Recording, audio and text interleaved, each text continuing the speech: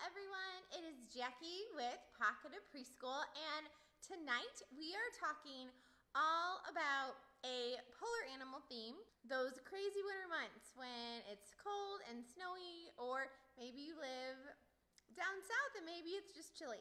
Um, and you don't get snow. So I have ideas for you to have snow in your classroom too, even if you don't have real snow. Um, so why don't you tell me in the comments, pop down in the comments, tell me when you do a polar animal theme, do you do it at the beginning of January? Did you do it in December? Do you wait till February? Or do you mix it in with a like general um, winter theme? So I just love getting to know you guys and you guys getting to know each other too because it's so fun to hear what everybody else does um, around the country. So what I'm going to do, just like always, is I am going to walk you around my classroom and I'm going to show you all the things we're doing for our polar animal theme. And um, I will also show you, I don't know if you can see behind me, our um, ice skating rink that is in the Dramatic Play Center. And I also want to say, um, I teach half day, so Monday, Wednesday, Friday mornings. So I will not have time to do all the activities I show you, but I got out a whole bunch. That way, if you teach full day or um, maybe one activity will work for you and another one won't. That way you can kind of pick the activities that'll work for you and your kiddos this year, and then maybe you can save the rest for a winter theme or next year. So, like I said, I have a whole bunch of stuff out I want to show you guys. I'll try and talk closer to the mic, so hopefully that'll help. All right, so for writing, um, since the polar animal theme is all about ice and snow. There are so many different ways you can do writing. Um, in my polar animal pack, there's a whole bunch of different things you can do for writing. These are, I in my pack, I have um, letter, shape, and number cards um, in my polar animals math and literacy pack. So you can do those and you can use Play-Doh with these, you can use dry erase markers, but my kiddos are loving these and we um, actually use them with foil. So just grab some aluminum foil from your cabinet and then grab a dry erase marker um, and then they can write the number and look. It works just like a dry erase marker. So it's just like literally like a piece of foil. So you can write like sight words, they can write their name, um, you can do all kinds of writing. And what we did is we did it for table time. And we talked about how if it, if it gets crumbled, they can flatten it. After they were done with that, they crumpled it up and then we put it in the dramatics or in the block center and they used it as icebergs so that we weren't like wasting it. Um, but yeah, so you can totally use it as, you know, to write with instead of a dry erase um, and dry erase board. And, you, and now if you also have mirrors in your classroom, you can try writing on mirrors, so it would be just like writing on ice. Um, again, just another fun way to write. You can always use a writing tray, and this just one just has salt and glitter in it, so it's kind of like snow. So they can make letters or numbers and kind of shape to erase. And you if you don't have my cards, you can use any flashcards that you have. You can also make, whoa, glitter um, hair gel bags and do it that way as well. So you could, this is just a baggie with hair gel and some food coloring and then they can make, it's really hard to do um, on the phone while you, I'm doing my video, but they can write it in there and then just make sure you tape the bag close. You could also put conditioner, or wait, sorry, this one's lotion. Put lotion in a baggie and it looks like snow and then they can write in the snow. So there are a ton of different things you can do. And this one is just clear hair gel with um, just regular hair gel from the dollar store with um, glitter. So, alrighty. So yeah, so so many different things you can do for writing. So ditch the word sheets for this study and pull out some foil or some baggies. Just do whatever, just, just ditch the worksheets because if it's like, if you guys are like me, we are not going outside very much lately because it's so cold. Um, and then here is a fun, these are actually like a clip it polar animal game and it has nothing to do with sound. Um, it's just matching the lowercase and uppercase letters. And if you guys have bingo chips in your classroom, try instead of using like clothespins sometimes, put um, bingo chips out for boards, like a cover-up board, and they can use the magnetic wand and they can pick up the chips that way. So it's just a fun take on all those, on all the clip it um, games you have. Just use, try using something different to cover it up with. And they love using these magnet boards to um, erase their board. It's really fun. And then another beginning, uh, beginning sound game you can play. This is in my Polar Animal pack. Um, but they take the icon and then they match it to the letter like igloo, we'll go with I. And I just attach these with Velcro. And I have them in a little cup.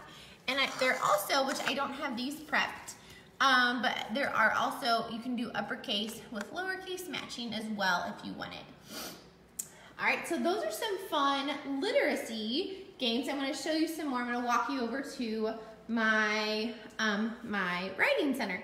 So you can see I have my cards out here. Oh, and another fun thing you can do um, with the cards, and if you don't have the cards, you can totally do this too.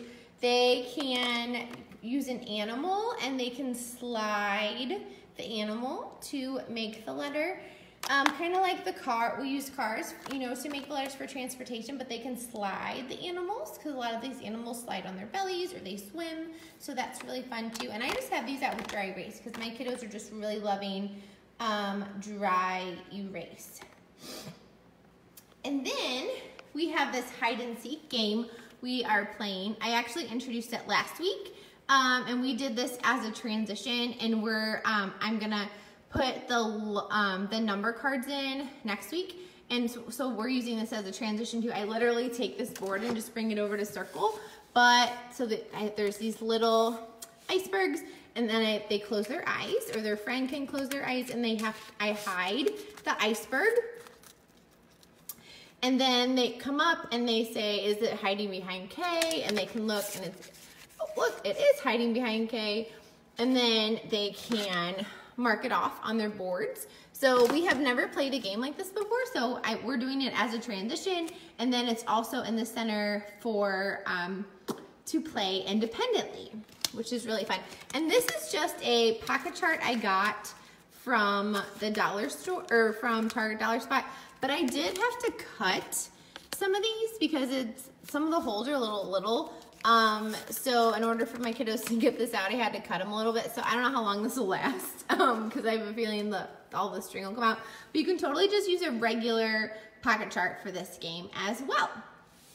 And then at the writing desk, um, I put out pens for this unit because I have all kinds of purple and shades of blue pens and they are loving writing with my pens. I had three boys at my writing table today.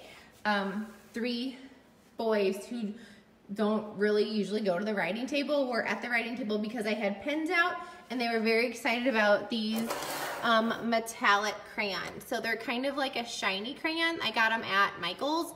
Um, but yeah, they're really fun to write with. Here, I'll kind of show you guys. But they're kind of like shiny just something different because you got to just keep it keep it fresh and keep it exciting um, and just see what your kiddos like.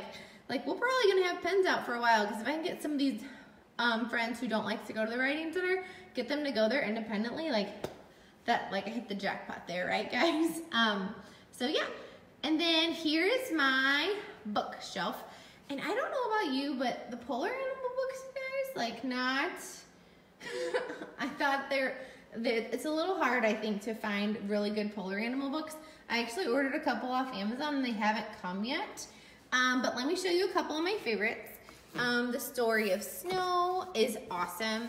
It's a great nonfiction about snow and snowflakes. Um, and the pictures are gorgeous. Um, so that one's really good. And then I love this series, um, A Day in the Life Polar Animals. Um, and I want to say I got these from Scholastic, but I'm sure you can find them on Amazon too. Um, but yeah, these are really great too.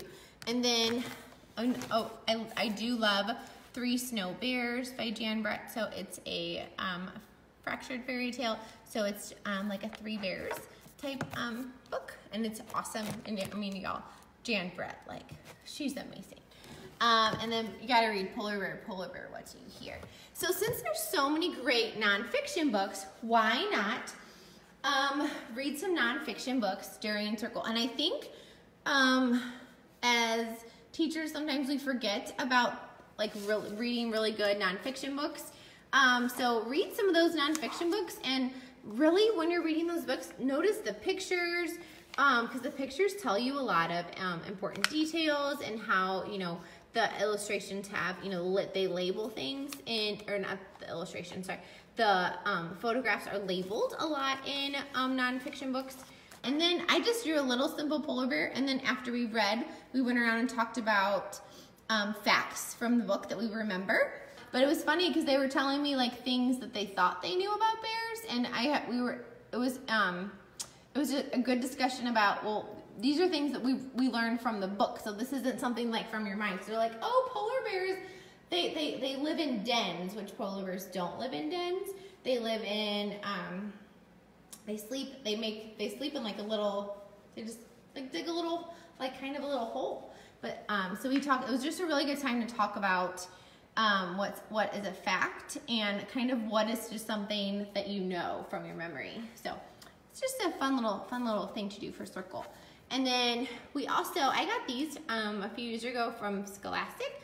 I got a Penguins ABC and a Penguins 1, 2, 3 book. And we read the book, and as we read the book, they wrote their numbers down. So I got, I snuck in an assessment um, this week. So we did this one today, and then we did this one on, um, on Monday. And then if you have any counting books, um, since the polar animal books are a little scarce, um, go ahead and just print off some pictures from Google Images and you put a magnet or Velcro on the back and as you read, you can make it into an addition or subtraction story based on um, what it is. So that's just some fun things you can do for a circle. Oh, and one more game. I forgot this one. So this one is really fun. Um, so I don't have it all. So I haven't, I'm going to actually have this out new for Friday because we're going to do this theme again next week. So before I didn't have these out this week. Um, because I don't put everything out all at once so that way it's not so overwhelming. But these are from my Polar Animal Centers and there's just a little bag. So I don't have the magnet out yet. But so they grab a letter and they can either identify the letter or they can build a sight word and then they feed the bear. Now, some of my friends are just going to be working on identifying letters. Some of them, my three-year-olds and some of my pre-K, might just be working on identifying these uppercase letters. So grab, you know, picking up a magnet letter and then feed, identifying it and feeding it to the walrus. You can also um, use the name cards with it, which are really fun. I've seen some people take the mailboxes from the Target Dollar Spot and put the, these little faces on them so then they have a little box so it's not so flimsy. But it kind of works for whatever you want. So I'm, I'm really excited to do this with them on Friday. So this will be fun. And again, this is in my Polar Animals Math and Literacy Centers pack. So let me show you some math. So this is a, oh, let's talk manipulatives first because I don't know about you, but polar animals are hard to find. So, um, take some of these gems from the dollar store and just draw a little polar bear face on them. And now you have polar bear little counters. So this is fun if you can't find um, a lot of polar bear counters. Um, these I think were in the Target dollar spot before Christmas. These are from the Kinder Crate, the, the monthly subscription box I get. Um, yes, so so some people are asking is the um, all these printables um, in the Math and Literacy Centers pack, and they are. Everything I'm showing today is in is in that one. So these are also on Amazon, um, and I can put the link to that afterwards. Um, but they're little polar bear mini erasers. But again, you can just go to the dollar store and grab some gems. These are the big ones. They're not the tiny ones. Um, and just draw a face on them so you can have some fun Arctic animal or polar animal themed counters. You can also, if you have like ice cubes, these are those plastic ice cubes from the dollar store over the summer. These are great for a polar animal theme. Cotton balls, you can just pretend they're snow. Like these are great for a um, polar animal theme. So if you have any of these foam snowflakes, these are great for uh, a math game. So basically just write numbers on them and then they have to identify the number or you can put dots if you have littler guys or you can do both and they can just count how many um, like so this one would be five so they would just have to put five on the snowflake. So really again super easy just cotton balls and some foam um, number cards. And you can also put letters on them and then they have to match the magnet letter cities these little tweezers are from Walmart, and I want to say they're around a dollar-ish. So they're really fun. They Kind of look like, like little gloves for a winter theme. These build 10 cards, or 10 mats, are in my um, Polar Animal Centers. Um, so they pick a card. Here's all the cards.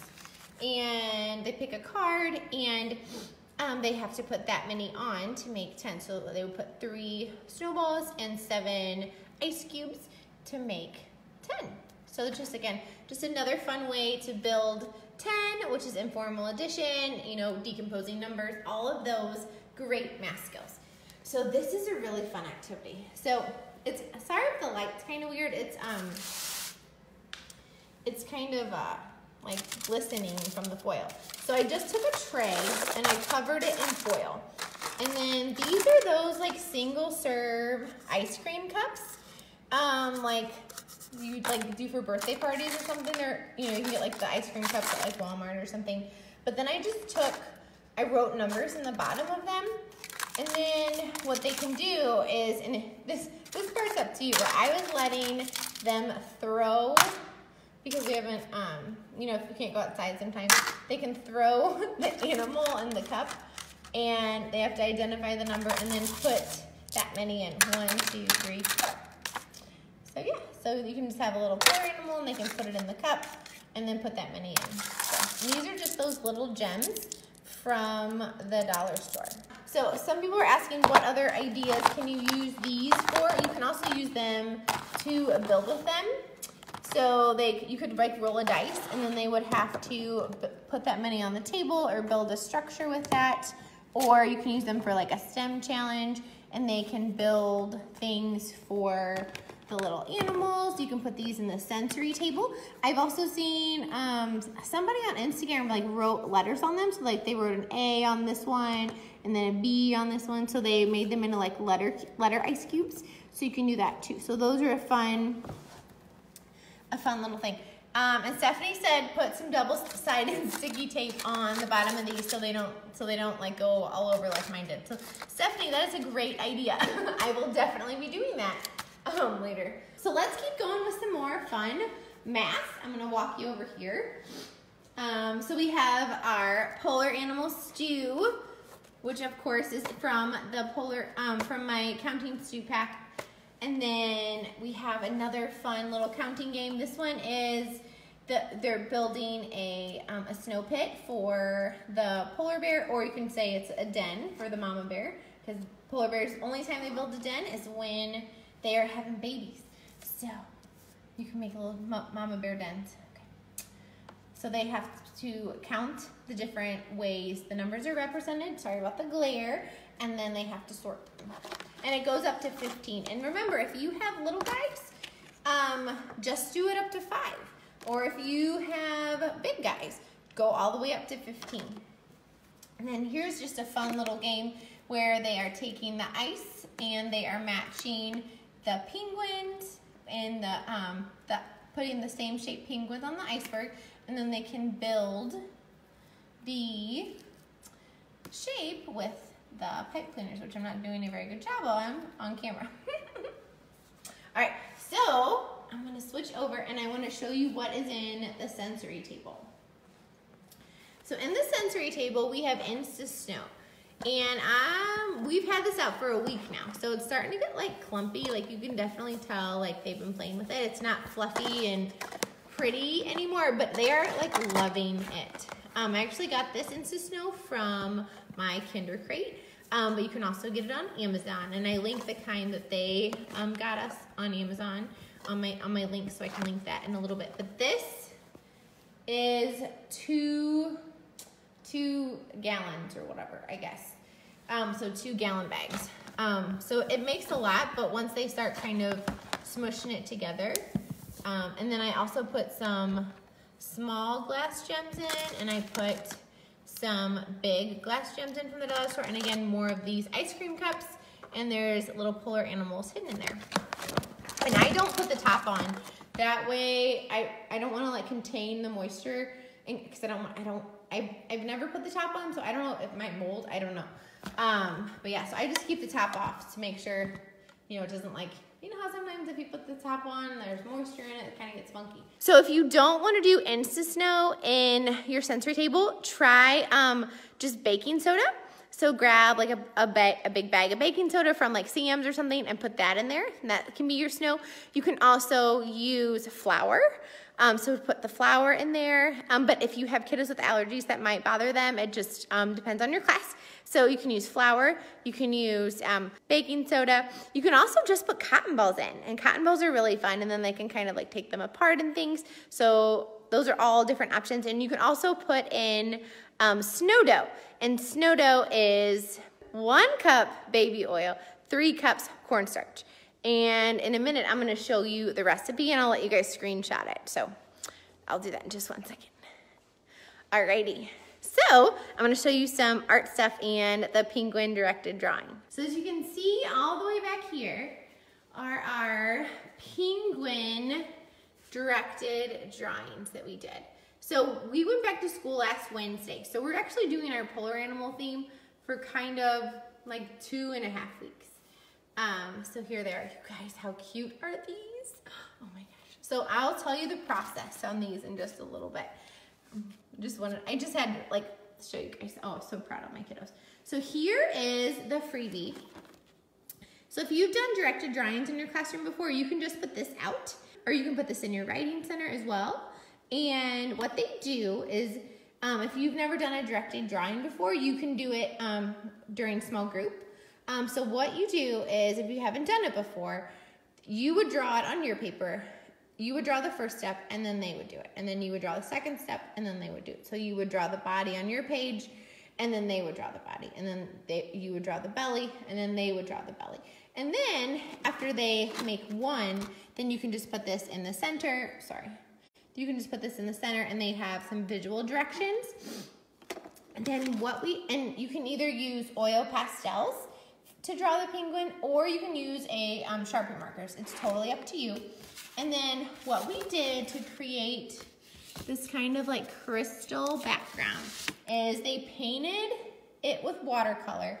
And as they were painting, they sprinkled in this kosher salt. And they just like left it in there. And so they would, they, um, ooh, sorry about that. So they would paint a little bit and they would sprinkle the kosher salt in because it has to be really wet to soak up. And then they would put the whole thing with the kosher salt on the drying rack. And then the next day they came, they got to rub off, you can tell they didn't get all the salt off this one. They could rub off the salt, and then what is left, put that in there, are these like beautiful little crystals. Um, and that's totally flat. Like it's just a beautiful texture on these beautiful paintings. And if you have three-year-olds, just do the watercolor and let them sprinkle in the salt. You don't have to have the penguin on there. Um, or if you have, if your kids are capable of doing it, you know, totally do the directed drawing on it first and then do it. And then maybe say, you know what, you guys did a penguin. Um, why don't you guys try drawing some other animals? So that's why I have this right here. So what they do is if they want to do this, they just grab the whole tray and they'll take the whole tray um, and then they'll just put it on the table, and then they can do um, the directed drawings. And you can get, I used um, Crayola oil pastels. I actually had to buy some new ones because mine are getting, I only had like two black, two itty bitty tiny little black ones left. Um, and they, of course, you know, everybody wants black for all the polar animals. Um, so I bought some new ones, but these I got at Hobby Lobby, but I just use the Crayola brand because they work fine. But I know you can get them on Amazon in different brands too. And then for my watercolors, I just keep a empty cup and then I just keep some brushes in. That way, if they want to do watercolor, all they have to do is just, you know, fill up their water cup and then they are good to go. And then the watercolors are right here, which you can see I got on clearance at Home Target.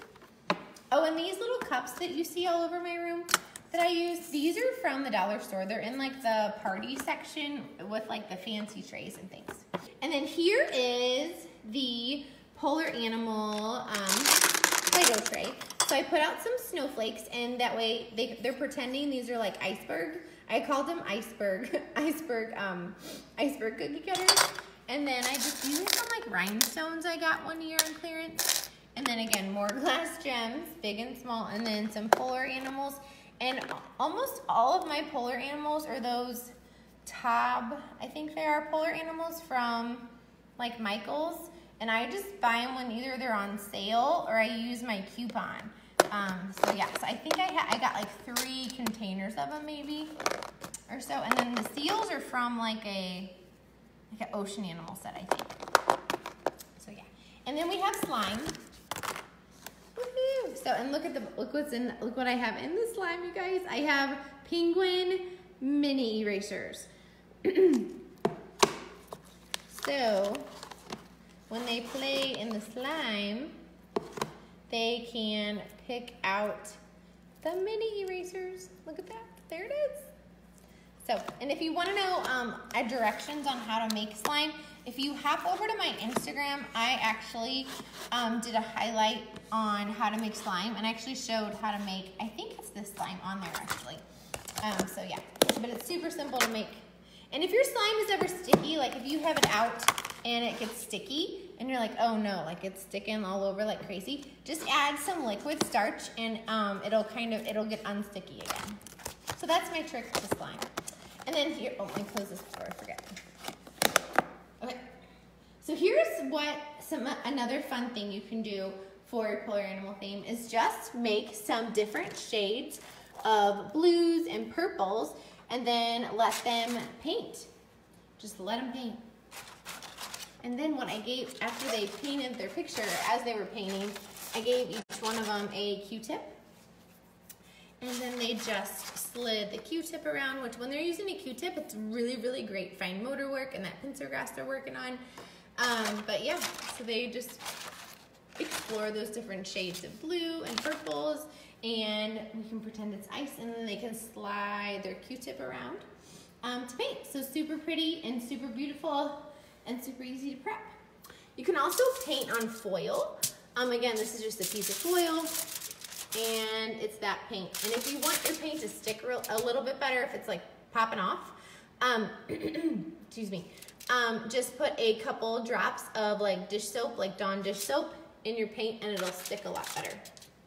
So yeah, so you can put either just some, because that's actually what I have at my easel.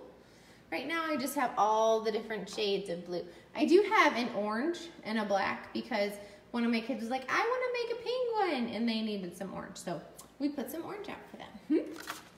You can also do snowflakes with coffee filters. So I actually did this one right before I went live just to kind of show you, but just have them grab a coffee filter and you can either fold it in fours or they can fold it in fours. And I know you think it sounds complicated to make, have them make their own snowflake, but just have them, show them how to make just like two cuts, go like in and out on either side. And it doesn't have to be these magnificent snowflakes. Um, it can be super simple ones. And look, all they do is just drop, they can, so they fold it into fours, and then they can make a cut on either side, and then they just drop liquid watercolors on it after. And if you want them to have their names on them, write their names in permanent marker before um, they paint. And then I just have this wax paper on the table to kind of protect my table. You can also use like a shower curtain. Um, but yeah, and make beautiful snowflakes. These would make a beautiful bulletin board, um, but it's also great, again, fine motor work, all that pinching and squeezing. And then this is just liquid watercolor. Here's all my beautiful liquid watercolor. I never put it on the table because every time I put it on the table, I feel like it leaks. Because look, y'all, I just got it on me again. And then you can also just do something super simple as just chalk and blue paper and just draw snow or just draw polar animals. so just, you know, explore chalk and how it feels. You can also explore how, um, like rubbing it or like making, you know, like a whole bunch. And you can talk about how you can spread it or use, um, you know, all those different um, chalk techniques. So yeah, so so fun. And look at, look at how cute those look up there, you guys. So, so cute. So cute. All right, I'm gonna show you blocks. Oh, here, listen, I'm gonna show you pretend first. Mm -hmm. And then I'll tell you gross motor stuff too. I have gross motor ideas for you too. All right, so here is our pretend ice rink. So we actually made that sign last year and I kept it. Um, but it was just a table time activity where they came in and just painted and then a little friend wrote ice skating rink on it with some paint. And then everybody always asks what I use for ice. So I took some two pieces of like long paper to the teacher store and they laminated it for me.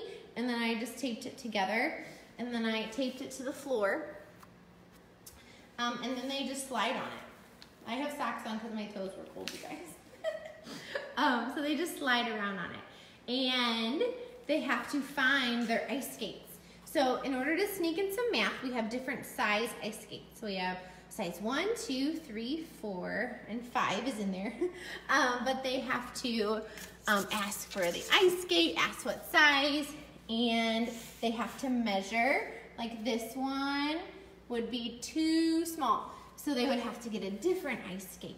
And then I didn't, we do have gloves out and scarves because if you put gloves out, it's a great way for them to practice putting on gloves. If you have kiddos that are struggling with coats, um, if you ask parents to donate some extra coats, put out some coats and pretend, and you can practice all of those self-help skills um, and pretend. That way you can make going outside easier. Um, and then we have our shoe locker, so they can put their shoes in the shoe locker, and everything is labeled to um, add a whole bunch of literacy. Um, and then, so I actually don't have this out yet. This is the first week we're doing it. But next week when we add it, this will be hockey. So they can play hockey at the ice rink. So these are, look, these are just pool noodles I cut in half. And then my laundry basket is the goal. And then they can just use the beach balls to play hockey um, when they go to the ice skating rink. And this is a really great gross motor activity too, because we um, actually play hockey a lot during inside recess. Um, and I just got these little beach balls from somewhere, I don't know where, but they don't hurt anything. And they can, if they hit each other with these pool noodles, they don't hurt, knock on wood. um, but yeah, just cut them in half.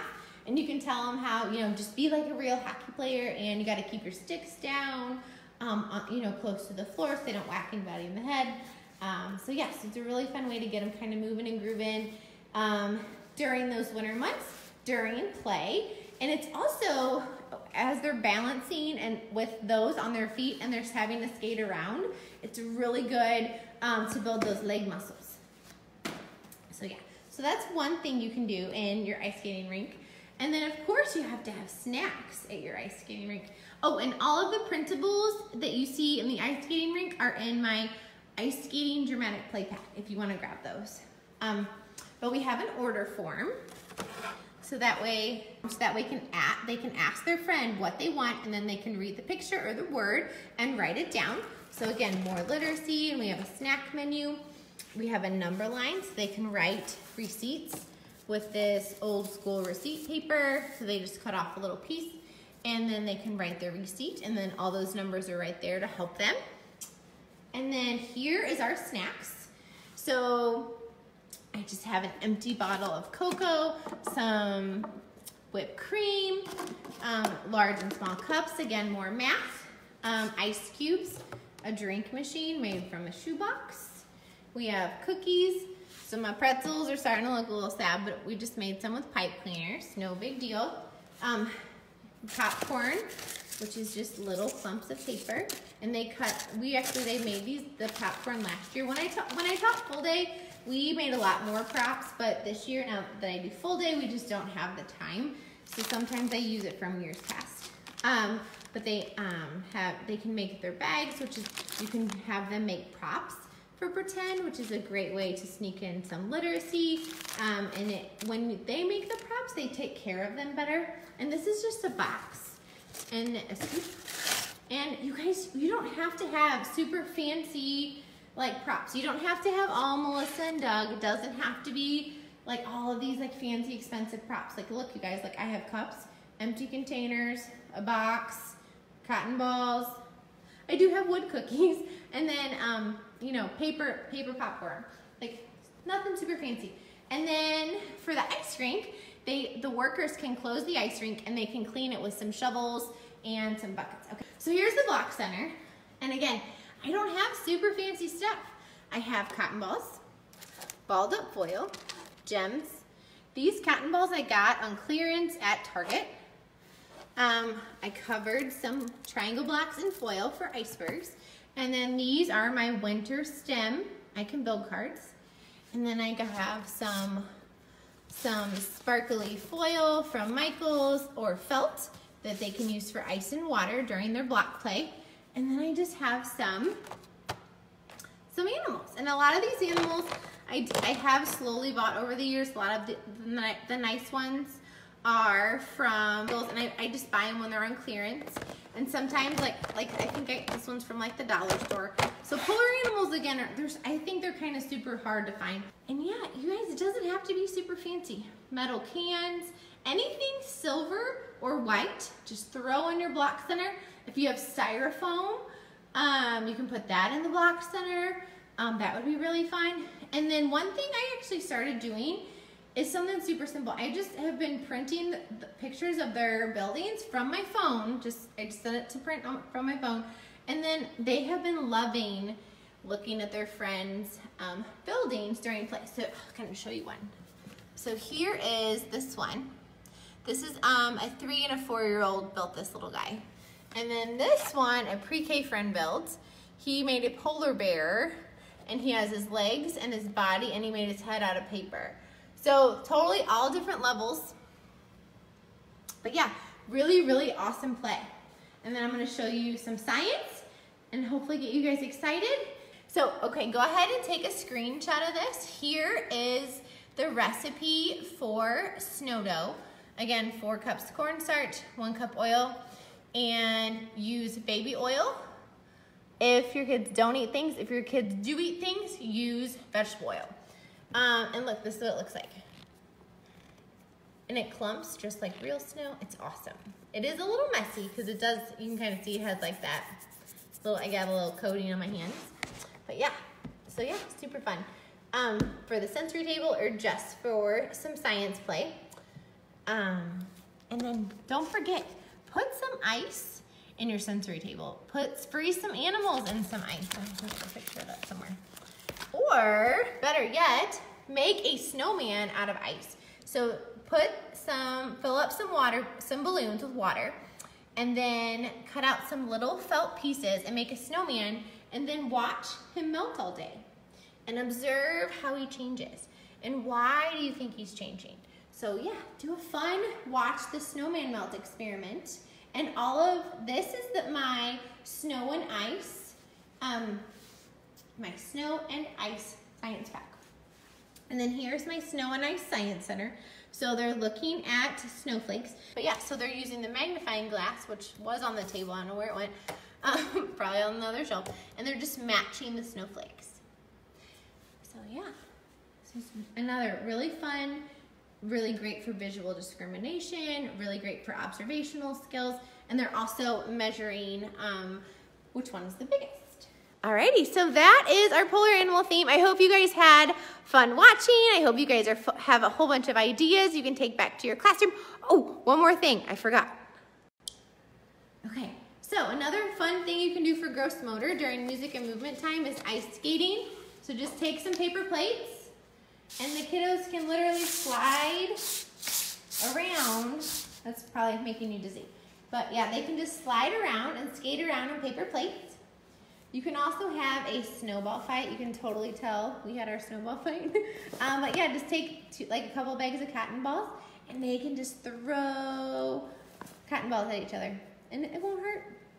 And if you want to be even, if you want it's for them to work really hard. Make it a rule they can only throw one snowball at a time. And that is a great way to practice that self-regulation. And if for more fun, you can draw a line, make a line down the middle of your um, area with tape, and then say, you know, the, half of your kids on one side, half of them on the other. Okay, you know, who, who, let's see who can get all the snowflakes off of their side. And then play, I usually just play a Kidz Bop song. Um, and then, and then they just throw them like crazy. And that's a great way to get energy out. And it's a great way for them to practice overhand throwing or underhand throwing. Work on those upper arm muscles because um, it's really important to make sure we work out those upper arm muscles because these upper arm muscles have a lot to do with our fine motor muscles because our big muscles have to be strong before our little muscles can be strong because we develop from the inside out. So our core has to be strong and those upper arms have to be strong and those fingers.